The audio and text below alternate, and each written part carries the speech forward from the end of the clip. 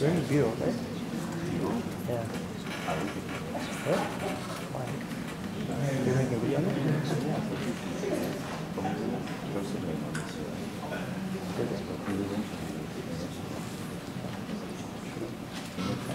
What?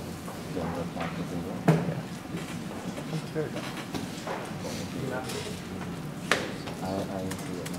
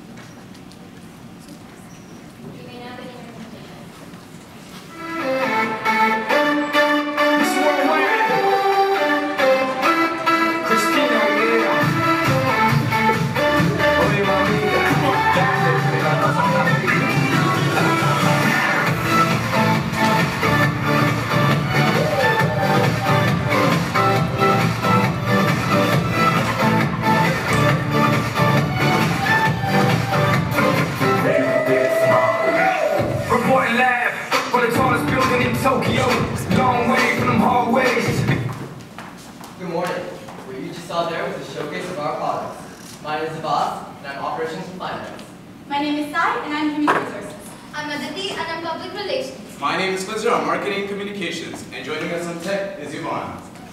Our journey began five years ago, back when the first SAGE national competition took place.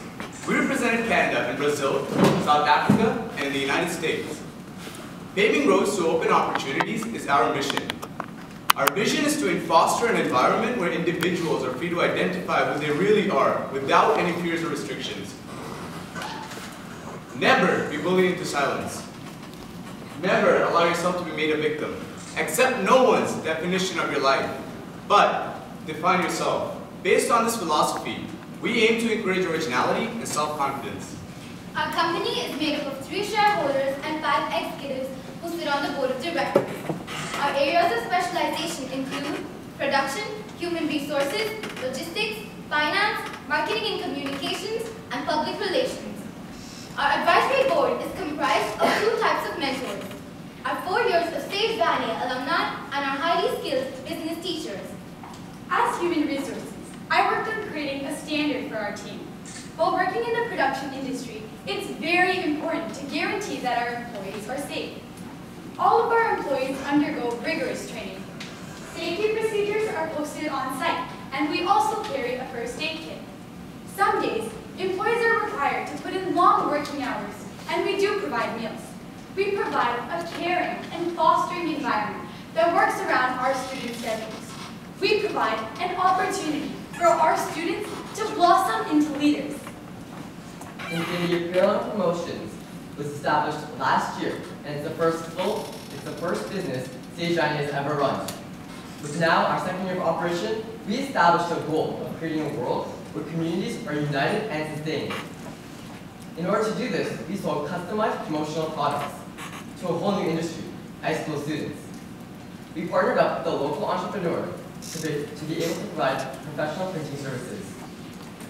After returning from the Sage Global Competition in San Francisco last year, we made a decision to carry on with this business. We decided to expand our market from the city to the entire province. To our astonishment, all of the province's teachers went on an extracurricular strike. All after-school programs, including SAGE, stopped receiving teacher support and resources. Our target market of student organizations ceased to exist. Rather than letting this situation affect us, we recognized a new opportunity. This is when we realized our potential as a youthful enterprise. We identified with students and their need to express their identity. With commercialization and large brands setting the tone for all apparel, we felt that there's a lack of creativity and originality in the market. Thus, taking of our school's specialized arts and graphics program, we started our sub-brand Custom Identity. Custom Identity sells apparel targeted towards individuals. Thus, running both InfiniTEE and Identity, we were able to target student organizations as well as individuals.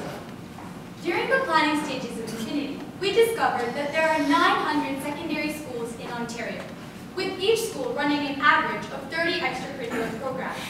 This year, that market was limited due to the extracurricular stoppage. After consulting different members of our community, we made the decision to expand our market to post-secondary institutions and community groups. Universities have an average of 150 extracurriculars, and there are over 1,000 community groups in Toronto alone. In order to communicate with our target market, we use our social media connections and our very own website. We take great pride in being involved in our community, including their events and programs, such as the Toastmasters Youth Leadership Program. We also invested our time at the TDSB Social Justice Action Fair, a conference filled with 500 students around one common theme of social justice. The Day of Pink is an international day against bullying and discrimination.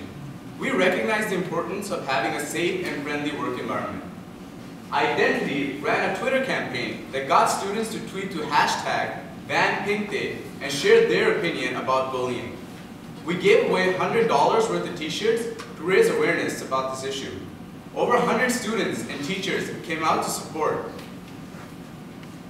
Not only do we strive to make a difference on the local scale, but we also look to our global business. Our long-term goal has been centered around the right to education. But after doing more research, we discovered that there's a substantial amount of schools in developing countries, yet there's a lack of attendance. Children are forced to abandon their education and work in dangerous environments. These children have a lot of capability, but due to a lack of security and resources, they are unable to reach their full potential. These children are homeless, exposed to threatening home environments, and are not self-sufficient. To combat this issue, we donated over $1,000 to District Probation and Aftercare Association Kolhapur. This organization provides a secure learning environment for children up to the age of 18. They're given a primary education and shelter as they grow up. They're also trained in many areas that are necessary for success. They're made independent and self-reliant through funding, training, and various support systems. Their progress is monitored so that funding is not misused. Thus, by donating, we're allowing these youth with an opportunity to a bright and prosperous future. Let's meet the governor and see what he has to say. My name is Digambar Sudhakar. I am standard in Seva. I am came to Palka School in 2001. I am very happy. Digambar had blind parents who owned a toy store. One day, he left and they never returned. The organization was lucky to find him and they took him in. in. He was just one years old at that time.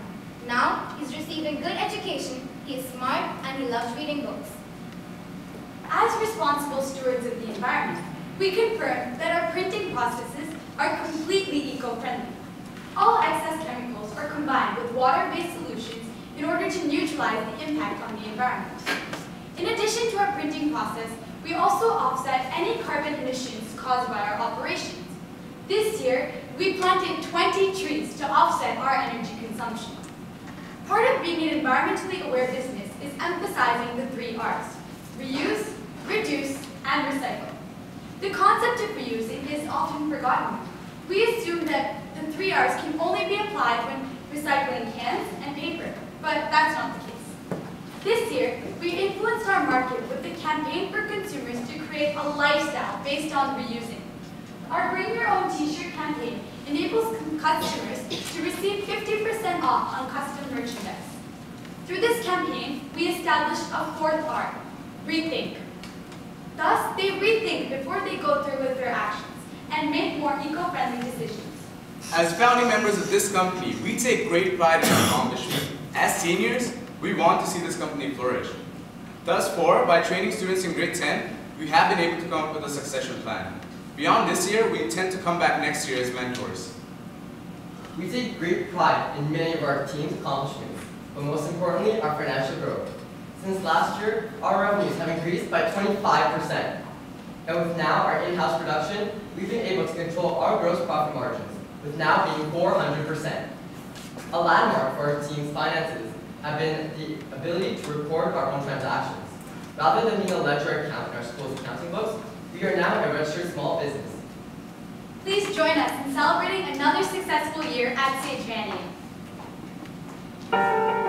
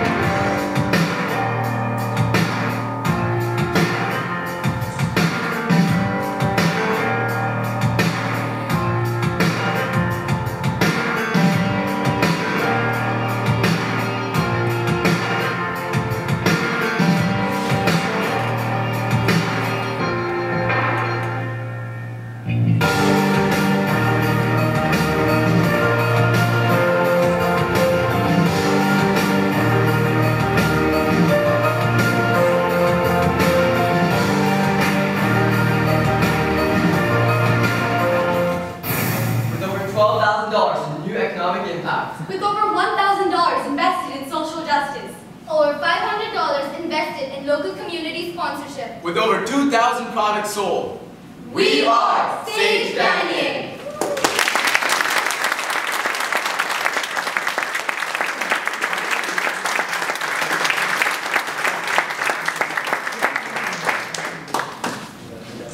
Let us all begin our seven-minute question and answer. First of all, um, great presentation and a great solution to what I think um, was overlooked when I was a student. Um, I was on a rugby team when I was in high school, and I remember dishing out so much money for uh, team uniforms, team t-shirts, team uh, sweatshirts. So my question is, um, firstly, I think I saw a demonstration of how you tapped into that market. How much do your products cost uh, in comparison to your competition?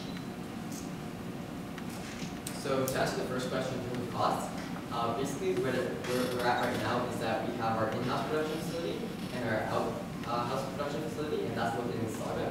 So for the in-house production facility, because we're making everything ourselves, and now we've had a lot of orders coming in, costs are able to go down, we're actually relatively cheaper compared to a lot of the other places out there. For our larger because we also work in school hours, we can't be making 2,000 t-shirts. Um, we have math tests. Uh, so with those, um, our margins are 20%, and relatively we're a bit high, uh, our costs are a bit higher, but the quality in terms of the type of um, material being printed and the form of printing is um, on a higher level. So when we, when we do large orders to universities, we don't do it in-house, we send it uh, to Saga. So we're providing awesome quality and quality for us. Uh, so you guys talked about thousand community groups and fifteen hundred university learners through Rhode Island issue that is in uh, Toronto, let's say. Um, can success story that you had with the production of your anything? Actually, we're currently working on a couple of orders for universities. We've worked with Carleton, um, Queen's University, McMaster, and we have something coming models.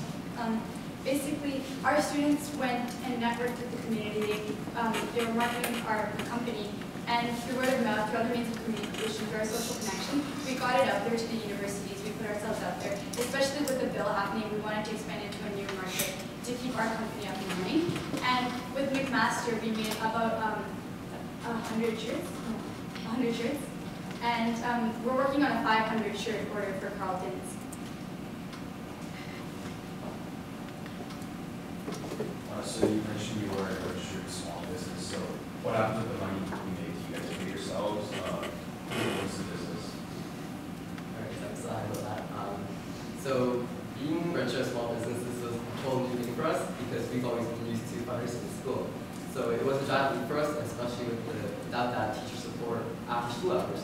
What happened was that we looked towards our Diamond alumni, and what happened was that because we're under 18, we needed a co-sign who's over the age of 18. So basically what would happen is that um, a deal we made with our school was that we agreed to fund a few initiatives that the school wants in order to be able to use the facility. So they give us an office space.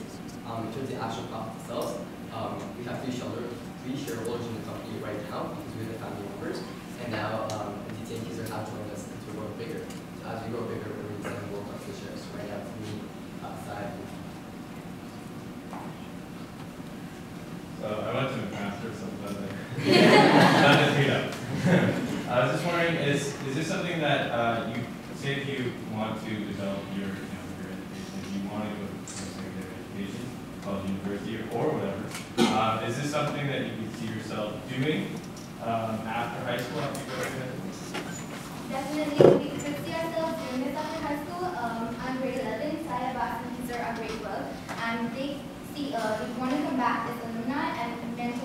grade 10s that we're training now. So they will be continuing this, and they'll be a part of this by just mentoring them and sharing their experiences and their knowledge with the in the past. I think most of us can actually definitely see this coming because uh, we spent a lot of time, a lot of hours on it, but we enjoyed it. I think it's definitely something I'll, especially I would be looking in the future because I joined the team pretty late. So, but after joining, I loved it so much that I haven't been able to leave it. So. So, uh, where where's the apparel actually manufactured, not the printing part of it? Good question. Um, so part of being a socially responsible business, socially responsible business is purchasing from the right suppliers, from the right distributors who have the same code of ethics that we do. So basically, um, our distributors are located in Vancouver, and all the most of the apparel we go with is either Gildan or American Apparel. And what Gibson's social responsibility plan is that they go into developing countries and they, they act over the and they go down there and really help people grow and own